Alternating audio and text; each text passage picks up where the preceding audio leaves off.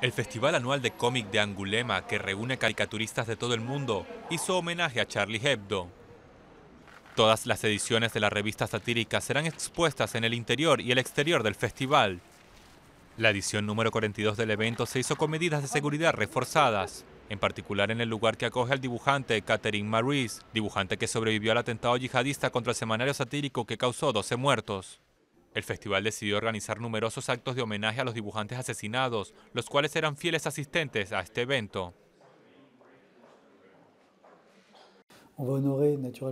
Por supuesto que vamos a honrar la memoria de estos dibujantes. Vamos a mostrar los trabajos creativos relacionados con la saga de Charlie Hebdo. Y también nos aseguraremos de que el festival de 2015 sea el comienzo de algo y no el final.